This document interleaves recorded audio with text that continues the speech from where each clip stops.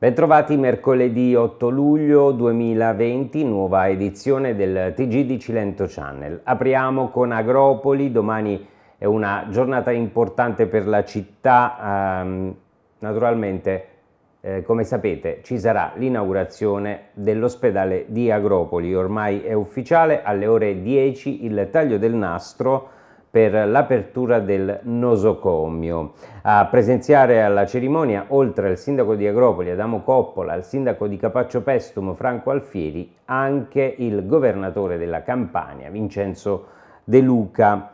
E dunque eh, quasi 2 milioni di euro sono stati spesi nella struttura ospedaliera che allo stato attuale avrà a disposizione un pronto soccorso attivo H24 con relativi laboratori di analisi e radiologia, due sale operatorie, ci sarà la possibilità del day surgery e la possibilità di fare in loco piccoli interventi, sei posti letto con reparto di terapia intensiva e altri 29 per il reparto Covid. Quello che resta da sapere con certezza è se le ambulanze del 118 fermeranno presso il nosocomio agropolese appunto. L'appuntamento dunque è per domani mattina alle ore 10.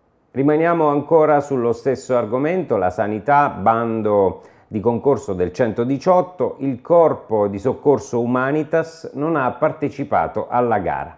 Vediamo il servizio L'associazione di volontariato Humanitas si dice non convinta del bando per l'affidamento del servizio di emergenza del 118 dell'ASL e ha deciso di non essere presente al bando. Stavolta non ci saremo, nonostante il possesso dei livelli più alti per ogni requisito richiesto, abbiamo deciso di non partecipare ad una gara che non convince in più di qualche aspetto. È quanto dichiarato dal presidente dell'associazione di volontariato Humanitas, Roberto Schiavone di Favignana, alla guida dell'associazione in merito al nuovo bando dell'ASL per l'assegnazione del servizio di emergenza del 118. Pur prendendo atto e rispettando la pronuncia del TAR, certo non biasimeremo chiunque da legittimo portatore di interesse intendesse eventualmente ricorrere al Consiglio di Stato, ha anche aggiunto il presidente Schiavone. Dopo 37 anni, l'Umanitas, che ha contribuito ad istituire la centrale di soccorso a Salerno, lascerà dunque il campo ad altri, decidendo di stare fuori da una dinamica e da un contesto che non le appartengono, si legge in una nota. Ma nessuna preoccupazione, aggiunge lo stesso presidente Schiavone, la cittadinanza potrà comunque contare su un'associazione ancora più forte nel trasporto infermi nell'assistenza ai disabili. Da pochi giorni l'Umanitas ha anche lanciato il servizio pronto medico a domicilio. Lo scorso bando anche per l'affidamento del 118 finì in un vespaio di polemiche tra i contestatori il sindaco di Baronissi Gianfranco Valeante che lo ritenne discriminatorio nei confronti della Valle dell'Irno. Restiamo ancora ad Agropoli e cambiamo argomento, eh, scarcerato eh, il signor Picariello, restiamo appunto nell'ambito della città di Agropoli, Andrea Picariello, l'uomo eh, che era stato accusato di violenza carnale su una minore, eh, è stato appunto scarcerato. A sporgere denuncia eh, diversi mesi fa furono i familiari della ragazza. La decisione è stata presa al termine dell'udienza in Camera eh, di Consiglio da parte del GIP Pietro eh, Indinnimeo. Eh, Andrea Picariello fu arrestato nell'inverno scorso dai carabinieri della compagnia di Agropoli diretta dal capitano Fabiola Garello con l'accusa di violenza carnale su minore.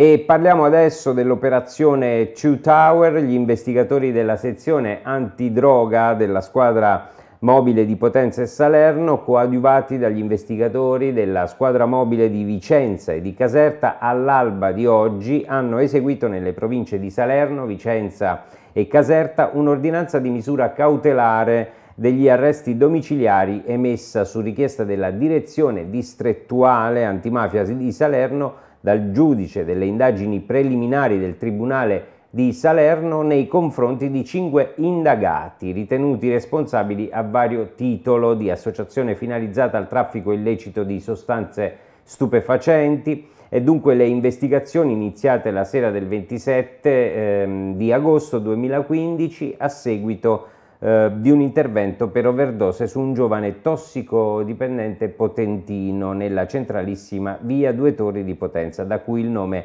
dell'operazione. Hanno consentito dunque di ricostruire gli illeciti affari di un sodalizio criminale il cui centro decisionale di coordinamento eh, si radicava nella città di Salerno, capeggiato da Romano Gaetano e costituito da soggetti in parte uniti da legami di parentela che eh, si riforniva principalmente da un cittadino di origine nigeriane dimorante nella città di Aversa. Il sodalizio aveva esteso il raggio di azione nella città di Salerno, Battipaglia, Bellizzi e Capaccio, nonché nella città di Potenza e in quest'ultima provincia, in particolare nei pressi degli svincoli autostradali di Balvano e Picerno. E parliamo adesso di politica. Il consigliere comunale del Movimento 5 Stelle di Agropoli, Mario Pesca, ha richiesto tramite un'interrogazione comunale rivolta al sindaco Adamo Coppola quale fosse il motivo per il quale i cosiddetti progetti utili alla collettività eh, dedicati ai percettori del reddito di cittadinanza non fossero già stati avviati da parte dell'amministrazione. Nella città di Agropoli sono numerose le persone che percepiscono appunto il reddito con la possibilità di impegnarsi per la propria città in attività utili alla collettività, specialmente in questo periodo estivo di forte affluenza turistica e purtroppo di caos generato dalla scarsa organizzazione della città stessa. L'attivazione di progetti civici che mirino eh, alla tutela e alla promozione dei beni comuni avrebbe un impatto positivo sulla, vivi sulla vivibilità della città. Oltre all'interrogazione eh, sul PUC, il consigliere comunale Mario Pesca ha annunciato di preparare altre ehm, interrogazioni su eh, tematiche altrettanto importanti, tra i quali la Posidonia oceanica, eh, e saranno discusse nel prossimo Consiglio Comunale di Agropoli previsto martedì 14 eh, luglio. E ci fermiamo per qualche secondo di pubblicità, rimanete con noi a tra poco.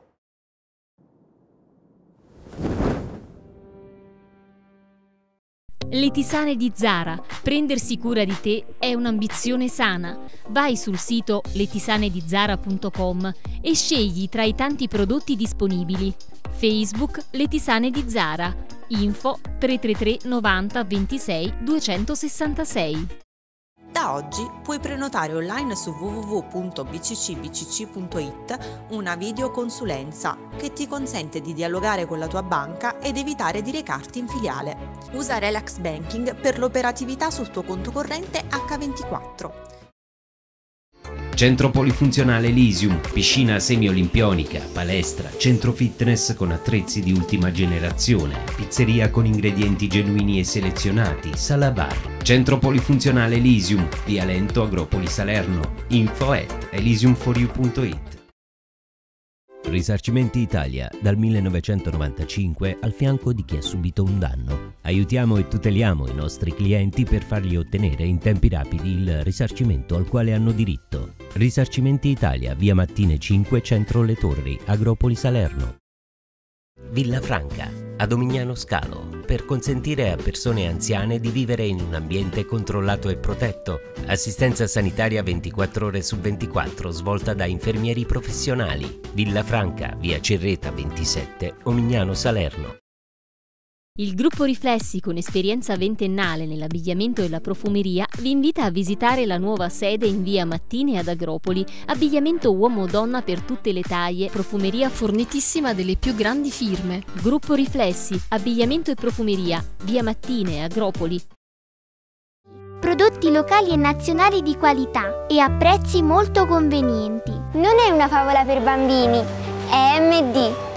MD passione, tradizione e competenza. Buona spesa Italia!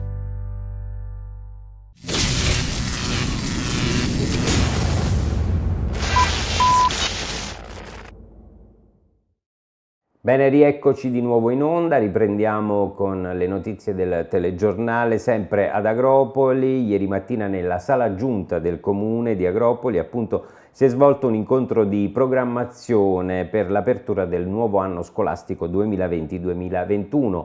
Sono state definite le linee di azione per un'apertura degli istituti eh, scolastici in piena sicurezza nel rispetto delle, delle prescrizioni legate all'emergenza Covid-19. Erano presenti Bruno Bonfrisco, dirigente scolastico dell'Istituto Comprensivo Gino Rossivairo, Margherita Baldi, dirigente scolastica del primo circolo didattico eh, di Agropoli, Carmela Maria Verrelli, dirigente scolastico dell'Istituto Comprensivo San Marco, il sindaco Adamo Coppola, l'assessore alla manutenzione scolastica Gerardo Santosuosso, il consigliere comunale con delega alla pubblica istruzione Francesco Crispino, l'ingegnere Agostino Sica, funzionario dell'area lavori pubblici, tecnico manutentiva Porto e Demanio.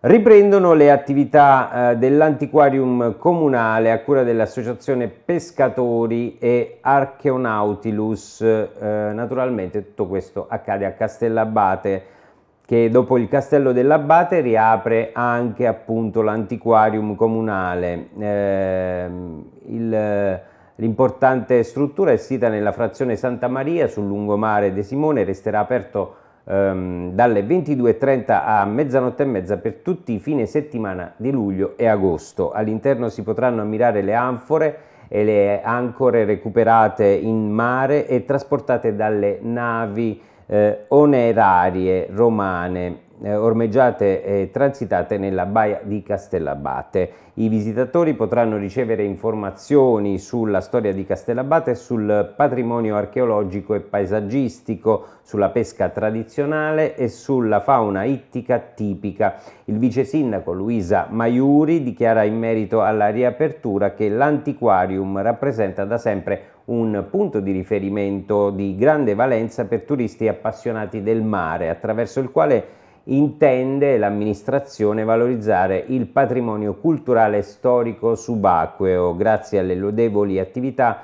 informative organizzate da due valide rappresentanti dell'associazione locale.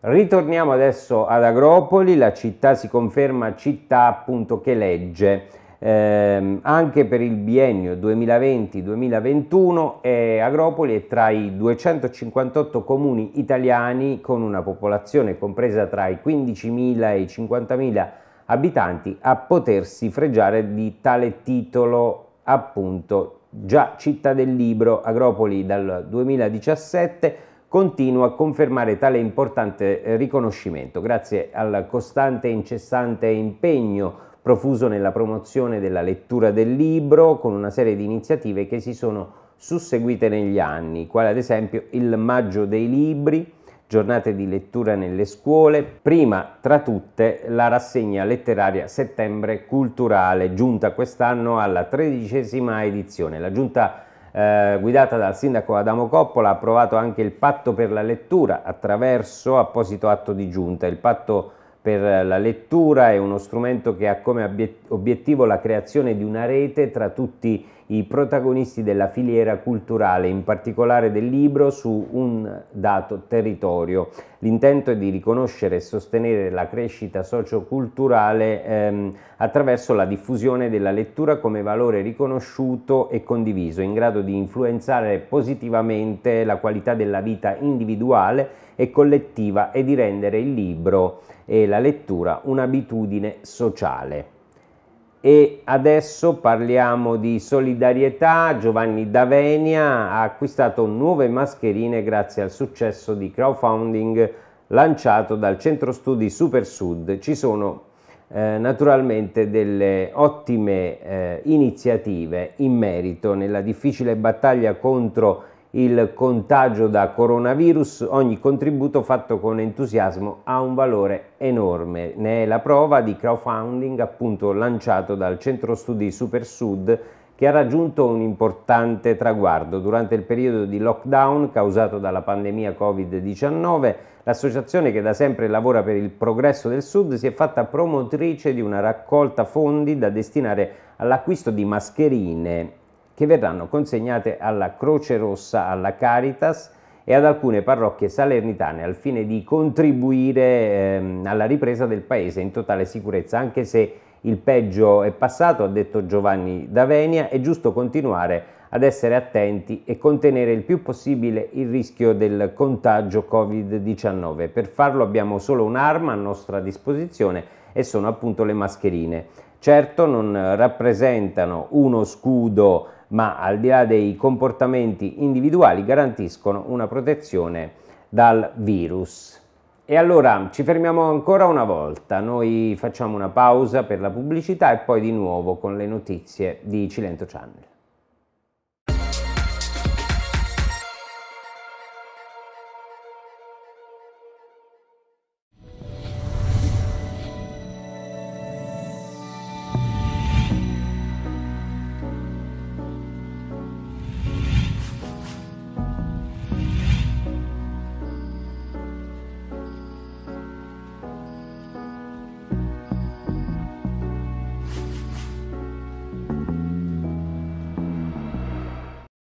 Fisiomedica, fisioterapia, rieducazione posturale globale, misura e prenotazione plantari ortopedici, ozonoterapia, tecar e laser terapia, elettroterapia antalgica, ecografie e visite specialistiche.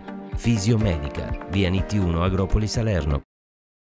Per ogni tua esigenza di spostamento, Cilento Rent. Noleggio auto, furgoni, scooter, biciclette, minibus da 7 e 9 posti. Cilento Rent ad Agropoli, Capaccio, Castellabate. www.cilentorent.com Scegli BCC Aquara, la tua banca vicina, affidabile, conveniente e cooperativa, da 42 anni al servizio di imprese e famiglie del territorio. BCC di Aquara, sede amministrativa sulla strada statale 18 a Capaccio Pestum. Le tisane di Zara. Prendersi cura di te è un'ambizione sana. Vai sul sito letisanedizara.com e scegli tra i tanti prodotti disponibili. Facebook Le Tisane di Zara. Info 333 90 26 266. Focus Point fa la differenza. Griff delle migliori marche, riparazione occhiali, pronta consegna occhiali graduati da vista e da sole, controllo gratuito della vista, centro applicazioni, lenti a contatto. Focus Point, via Alcide De Gasperi 22, Agropoli Salerno.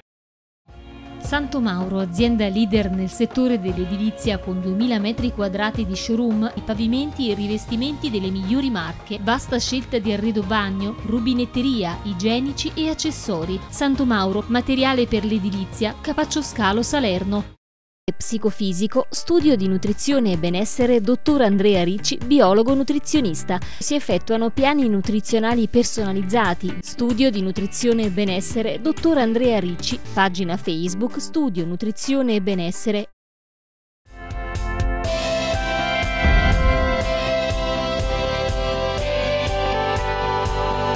Convergenze. Internet, phone, tv, energie.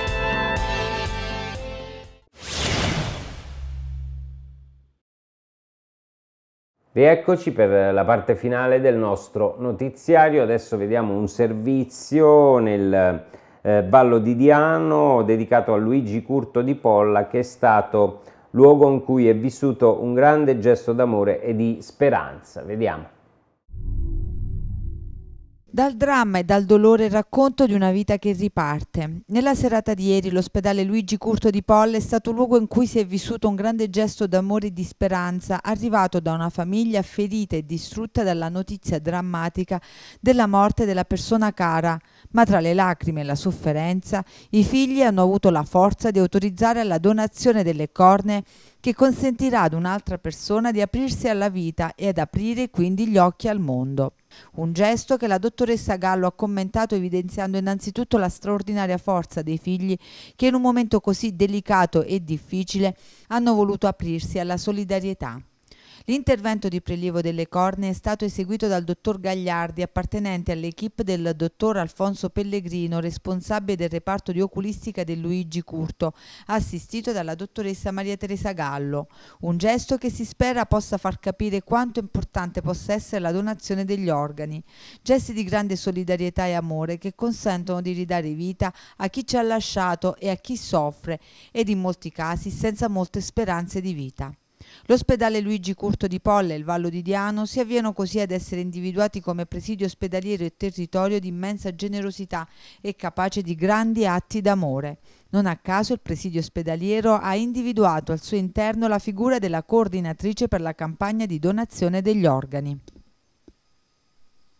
Il comune di Piaggine riparte dal turismo sostenibile e lo fa con una serie di iniziative compatibili con il Covid-19 ed il rispetto dell'ambiente. L'amministrazione comunale ha predisposto l'allestimento di una ciclo officina per arricchire e completare con servizi adeguati l'accoglienza del turismo ciclo amatoriale, implementando negli ultimi mesi da un progetto più ampio è strutturato con l'ingresso del piccolo borgo cilentano tra i comuni eh, ciclabili.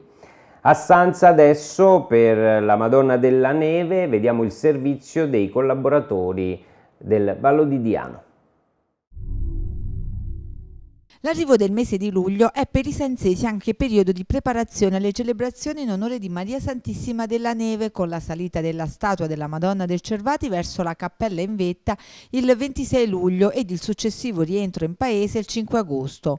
Un rito che in questo strano 2020 potrebbe non tenersi in virtù delle decisioni assunte dal governo e recepite dalla CEI e dalla diocesi di Teggiano Policastro che in riferimento alle feste patronali e alle processioni attendono interpretazioni più soddisfacenti soddisfacenti del decreto del Ministero sulle modalità di svolgimento delle processioni religiose, soprattutto in ordine alla sicurezza sanitaria e all'attribuzione delle responsabilità.